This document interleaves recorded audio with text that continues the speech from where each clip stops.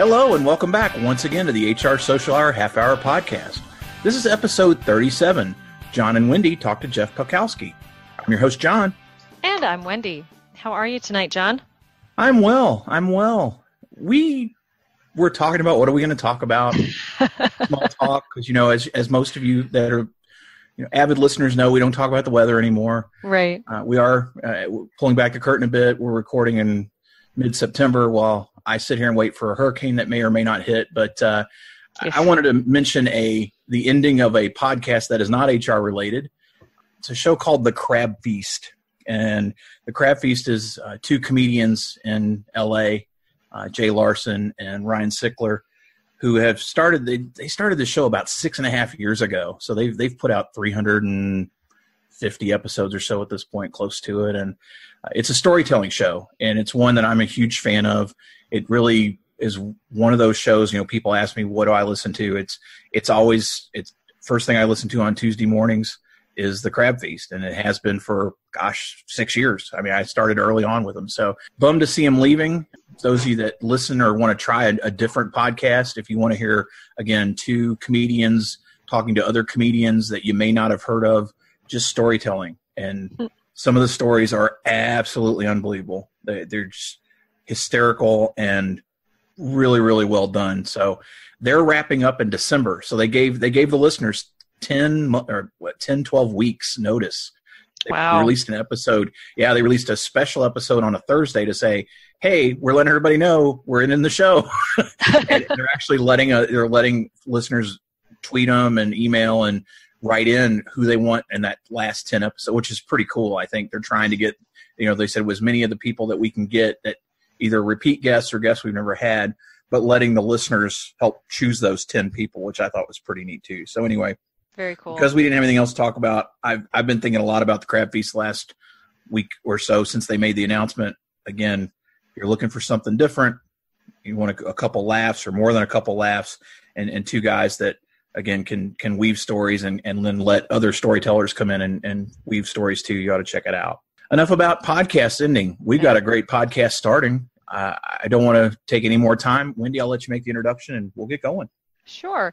Super excited to welcome Jeff tonight. Got a chance to meet Jeff at SHRM 18. We have sensing a theme of some of our uh, recent podcasts, but that's great. Uh, love being able to talk with all these folks more and learn more about them. Jeff is a title and compensation analyst with the University of Wisconsin Madison Office of Human Resources. He's worked in both public and private sector human resources for over 15 years and has been active with SHRM at the national, state, and local chapters since 2003. Before he joined HR, he worked in, in a number of management and executive level positions within the financial services industry, and he's also worked for three years in the Wisconsin State Legislature. He is a certified professional in HR and SHRM certified professional as well. He received his undergraduate degree from the University of Wisconsin Milwaukee and earned his master's in HR management from Keller Graduate School of Management and completed continuing education coursework at Purdue University and the University of Wisconsin Madison. So Jeff obviously loves education, which is mm-hmm. fantastic. Jeff currently resides in South Central Wisconsin with his wife, Julie, and their rescued collie mix, Brandy. Jeff, welcome to the show. And our first question is what's in your glass tonight? Well, first of all, I want to thank you. Uh, this is a, a, great opportunity, and I'm glad to be here. And as far as what's in my glass, well, at the very moment, it is actually empty, but I can tell you what was in it 10 minutes ago. I uh, It was filled with a wonderful uh, drink called Kentucky Bourbon Vanilla Cream Ale. Oh. If you haven't had that, it's basically cream soda meets malt beverage. And oh, interesting. Went down very well, and that's why my glass is empty. So. well, you, are allowed to have another, Jeff. At least on this yes. show, we, we, I, we, I, we certainly are, are, are, amenable to that. Oh, I, I and I, will take I will take you up on that. So. oh, fair enough. Well, I, I should have said before we made your introduction. Uh, yeah, I think you and I are uh, indeed brothers from different mothers in in many ways, not just in HR, but a lot of other things we'll be talking about later. But I am curious how did you get started on that career path in HR? Like most people, there, there's a story, and mine starts off with uh, again, my first job out of college was uh, in financial services operations, as you mentioned. I worked uh, I worked in the financial investment services arena for some time, moved up the corporate ladder quickly through various various positions and roles. And what I was finding, there was this common theme, and it was that I enjoyed human resources, just the various responsibilities, working with our corporate human resources staff. In my positions, I did a lot of staffing, a lot of workforce relations, and um, so I, I decided, basically decided to make a career change about 15 years ago and I decided I was going to step out of the financial world and go full time into human resources. So what that required me to do at the time was I went to school full time to uh, to co- complete a graduate degree, studied and passed the uh, the PHR exam, and then I found okay, what's next? Got my start as a uh, recruiter at several staffing agencies. So my first position was for a full service staffing agency, and I always like to share the story. And yes, it is a true story. On my first day, uh, here I am, human resources professional. My first task was I was handed a specimen cup and a rubber glove and said, Here, here's your here's your first candidate. Um, yes. Walk him to the men's room for his I remember those days. yes. And that's and it and, and, I'm still in HR, so I mean it's, it didn't scare me. I don't know if that was the purpose. Oh my gosh! Did, did but, you get uh, E cup money back then? Well, you know, it's it was I, luckily it was it, it, wasn't something I had to do f- frequently, but that was my first day, and uh, yeah. Wow. I used to get three dollars a cup. oh no, I, I, I, didn't get any I didn't get any kickbacks on that, but I I, I should have thought of it at the time actually. That was yeah. I oh well yep. P cup money. Well. Oh my goodness but um, but from there, uh, so yeah, so my, in, in the in the uh, private sector, I worked for a couple of different staffing agencies. Again, the full service one was my first position, and then I did a little bit of remote recruiting, uh, working for a company that uh, did outsourced recruiting for a number of uh, companies across the country. So that was very interesting. It was um, it was true recruiting. It, I mean, it was cold calling, sourcing, interviewing people from across the country, and it, it was a lot of fun. But then I blame my wife. She uh, relocated us from uh, eastern Wisconsin to uh, to Madison, Wisconsin, so I had to leave that position. So that's actually where I took a little bit of time off, and uh, so so the position I got when I, we moved out here was actually uh, working as a policy advisor in our, our state assembly or state legislature. But it was the good part about that was it was still HR focused, and I got to work on human resources legislation, worked with our our legislative labor committees, learn all about how the state interacts with human resources in our state. And, and then from there, I started uh, what's currently a, a 12 plus year career uh, with the state of Wisconsin, working for both the state um, as well as the University of Wisconsin. And that's where I presently work today. Very cool. So Jeff told a great story about how you got into HR, but I'm going to guess that the P Cup's not your favorite part. What has been your favorite part of working in HR? Uh, well, that was a that, that, was a good observation, Wendy. Appreciate that. you know, we, we all get asked this a lot, and I, I just I find it hard to put in words sometimes. Um, I mean, so so it seems pretty simple, but I, I enjoy the pace. I enjoy the, the people interaction and just the overall variety. As all of us in HR know, uh, there's never a dull moment. I, I found that working in HR, my days go by very quickly. Uh, you start off in the morning with a to-do list and by the end of the day you've done a million things and that to-do list is still there. And uh, but the one thing is um, one thing i really like about hr is i found that each and every day i leave with some sense of accomplishment. I've helped someone i've, I've accomplished something and i can't say the same thing about other industries that i've worked in. So that's that's kind of re- really what what i like about it and why why i continue to work in this profession.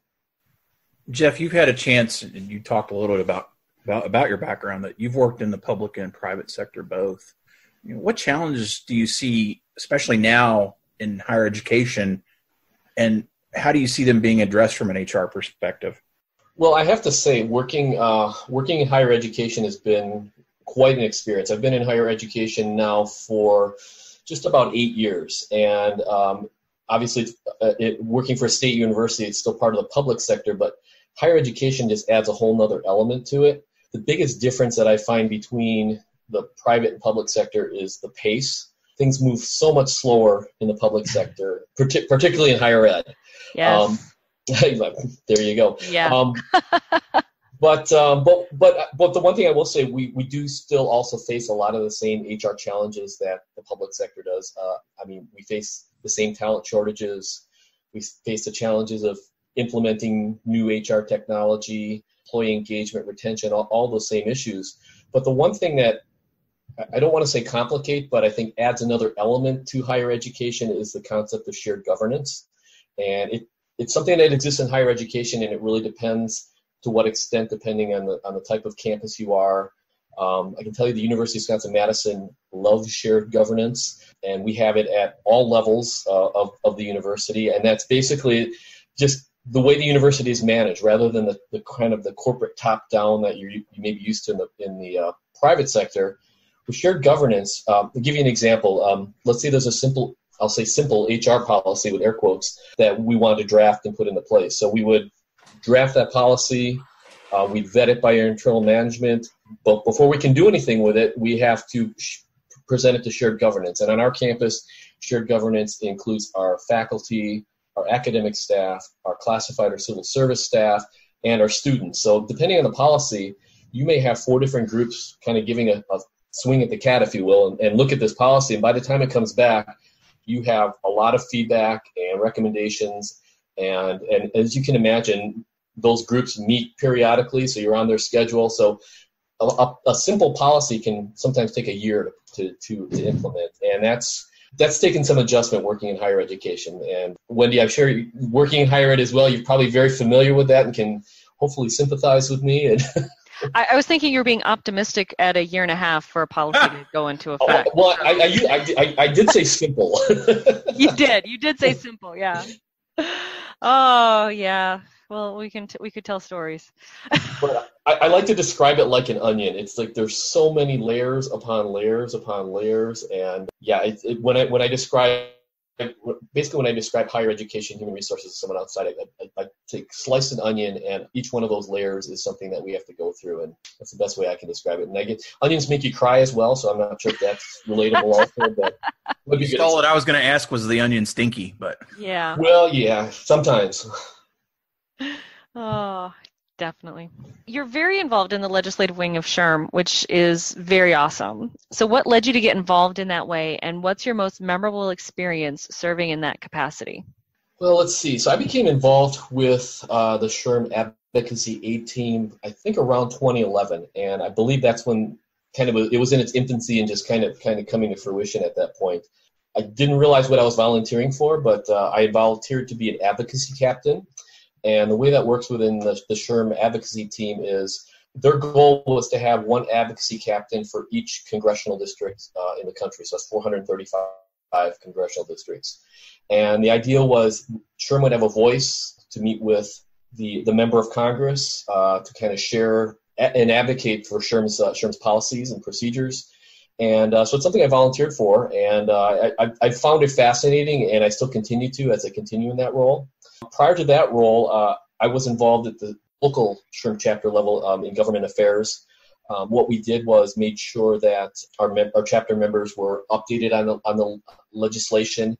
The concept of, of legislation and human resources sometimes it takes a while to explain. A, a, a lot of HR individuals may grumble about the different policies and procedures that we all are, uh, that we all have to adhere to, the laws and so on.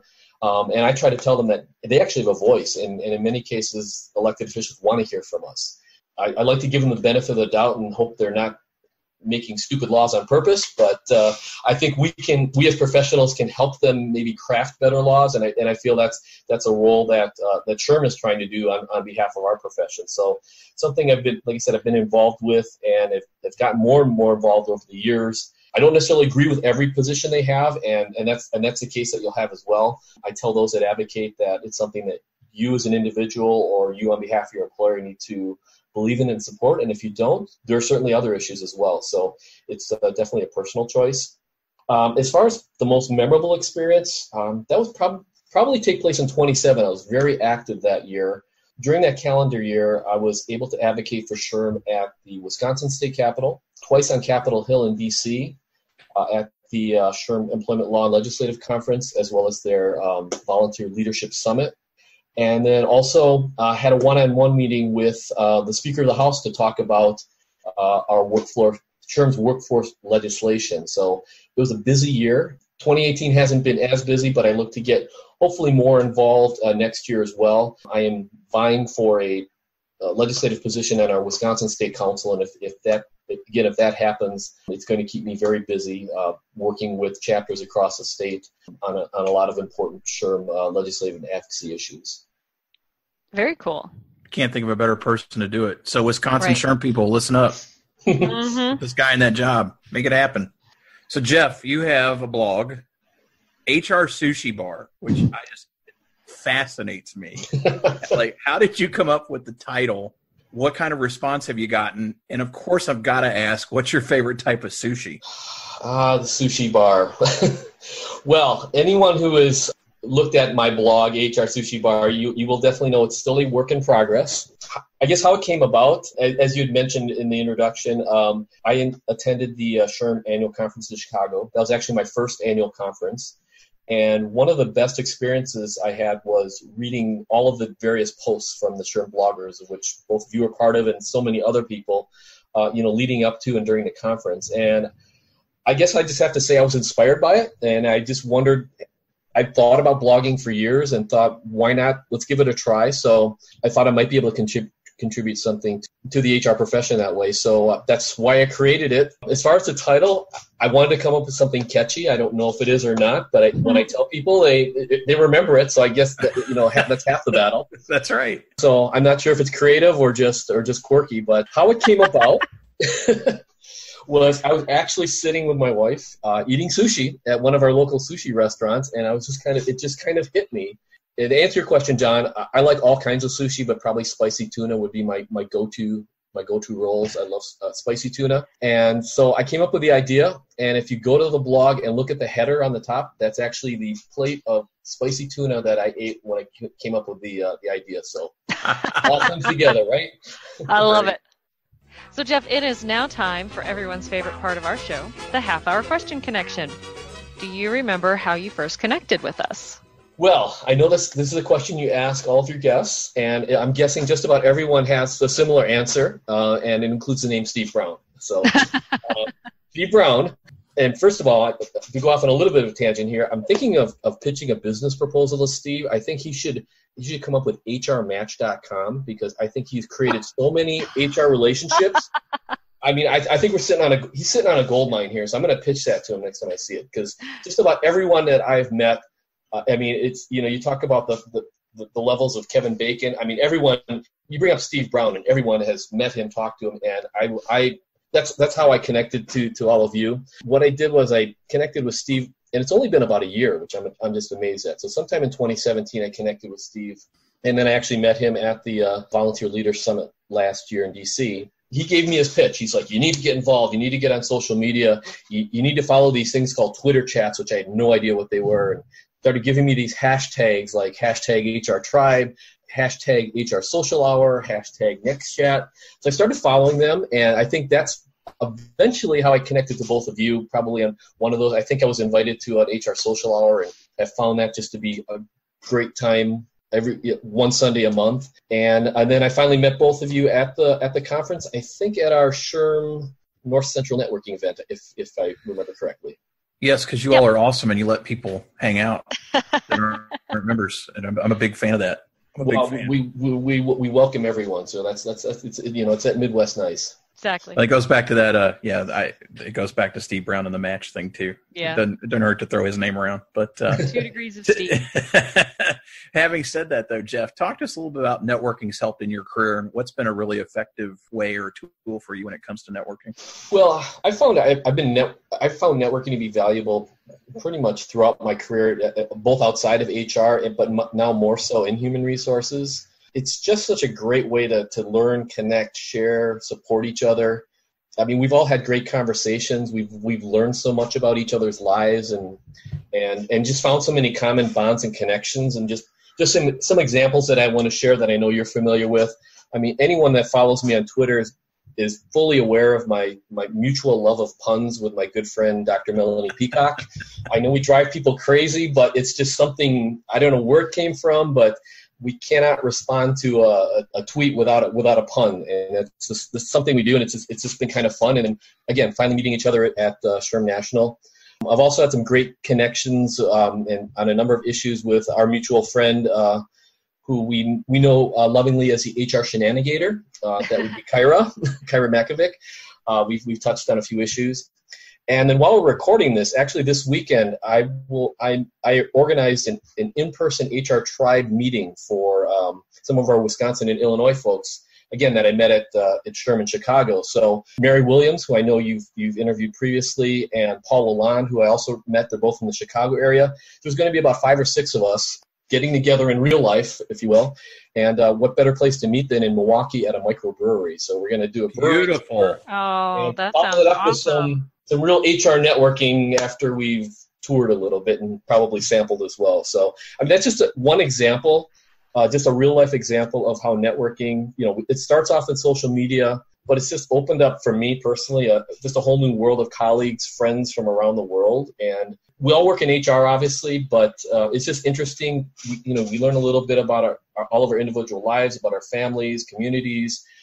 Jon and I, I mean, that's how we connected on our shared love for, I'm going to say it, Jon, drum corps music and Maynard Ferguson, and just you know the fact that uh, just something like that is just a, just another bond that that you have with someone that again I wouldn't have experienced had I not uh, had I not networked and and again go back to meeting Steve Browne. So awesome. Well, other than Steve Browne, who else do you read or follow for HR Insights?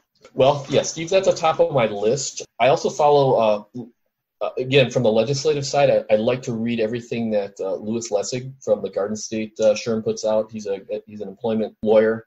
Uh, he puts out some great things. Obviously, follow the SHRM Advocacy Action Center. Uh, there's a lot of great people that work on the government affairs team there. Mike Aitken, Lisa Horn. I, follow, I read a lot of their information as they put it out recruitment is a big uh, been a big part of my career as well in human resources. So it's a little old school, but I look up, I, I read a lot of the postings from from Lou Adler on uh, on LinkedIn. It, again, LinkedIn is I, I, just read everything voraciously on, on LinkedIn. All the tweets again, following the hashtags that I mentioned earlier, and then and then just the various things that uh, SHRM puts out on a daily basis. I'm, I'm probably subscribed to all of their newsletters and the biggest problem is not having enough time to read all this great information, but I just try to catch as much as I can. That is true. Jeff, how do you enjoy giving back to the HR community? Well, let's see. I, one thing I love to do, and it, it's it's I'm in the great uh, great place for it, is I love mentoring students. So whenever I have an opportunity to meet with HR students and kind of tell them about the real life and why I got into it, and tell them my story, and I tell them it, mine is just one story. Everyone has their own. You know, looking back, it would have been great had I decided in college that, that I wanted to be in HR, but I still feel that the experience I had has, you know, has helped to make owned me out as an HR professional. But uh, that's one way to give back is just sh- sharing with uh, with students. Just reaching out and uh, reaching out to other professionals is one way to give back as well. I've been involved in uh, SHRM volunteer leadership for some time now. It's it's been a great experience to to volunteer. And as I mentioned, I've been on the uh, our local chapter board for a number of years, and I'm hoping hoping in 2019 uh, we'll be able to give back at our SHRM uh, State Council here in Wisconsin as well. One other thing that, that I want to mention is I, I find a lot of fulfillment in uh, supporting the SHRM Foundation. I really didn't know a lot about them until uh, the SHRM Annual Conference, but, but, when I learned about all the great things that they're doing, not just in scholarships, but uh, supporting veterans and all of their different initiatives, I was again went to went to a foundation lunch and heard so many stories, met some people um, and I just recently um, contacted them and said, "How can I help you?" And I made a commitment to join their leadership circle, to which is going to help to provide scholarships and other support to uh, to current and aspiring HR professionals. And that's just another, just one small way that I, I'm hoping I can give back to our profession. So, Jeff, what's your favorite movie? This is a tough one. I just can't pick just one. So I'm so I'm gonna I'm gonna say it, it would be a genre, and it's it, it's kind of a lame one probably, but I love 80s comedies myself. But I mean, we'll start off with I mean, Blues Brothers, Stripes, Caddyshack, Trading Spaces, or Trading Places, Ferris Bueller's Day Off. I mean, I can just if they if I'm flicking through cable and one of them comes on, I just I just have to stop. And so I can't pick just one. Sorry. Those are awesome. I, I, you know I get to ask this question: favorite band or musician? and you think you're going to get one?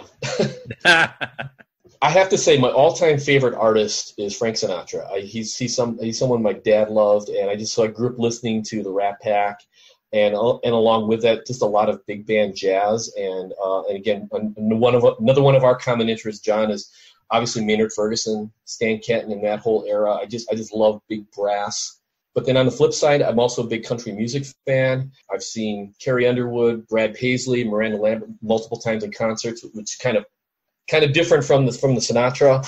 And and then as I already mentioned, um, I'm, I'm, sure at some point we're going to do a future full hour podcast on on the love of, of DCI and drum corps. So I'll be looking forward to that, Jon. Yes. Book it. How about a favorite TV show? That too. Uh, you can get multiple answers here. So um, as as this is fall right now, I, I of course have to say Green Bay Packers. Uh, fortunate, fortunate to get to at least one game up at Lambeau a year, but when I can't do that, it's, it's I'm glued to that TV set uh, for three hours. That was uh, that was one of the agreements uh, in in my marriage that uh, um, there's three hours uh, from from September through hopefully through January that I, I I'm devoted to that team. So my wife is aware of that. Um, so that's one thing. as far as regular TV shows, I like The Voice. It's just it's kind of goofy, but uh, just that whole singing competition is something I love watching. Particularly if, if you watch a whole season, you can see some individuals develop and, and get coached, and, and that's kind of a fascinating show. I also like watching Pawn Stars on, on the History Channel. It's just, it's just kind of fascinating. I'm, I'm kind of a history buff and just kind of the weird things that come into this little pawn shop in, in Las Vegas and hearing the stories. I like to I like to watch that as well.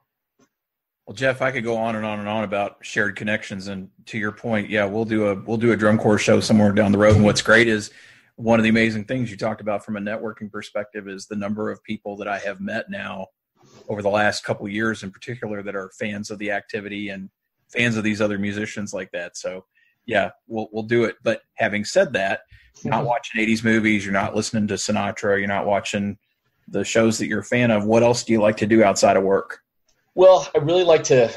I mean, like I said, work is great. I love HR, but then uh, the weekend, it's it's it's time to disconnect and, and, and, do something fun. So my wife and I do a lot of day trips. Um, again, we're located here in Wisconsin, and we'll just and and this Saturday is a perfect example. We just kind of go online, do a radius of 100 100 miles, and say, okay, what do you want to do today? And we'll just we'll just do a day trip.